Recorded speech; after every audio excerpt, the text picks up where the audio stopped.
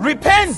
This is my beloved son. This is my beloved child. This is my beloved daughter. This is my beloved. This is my beloved. In other words, the divine pleasure rests upon you. At that point, when you are hungry, the devil comes and he says,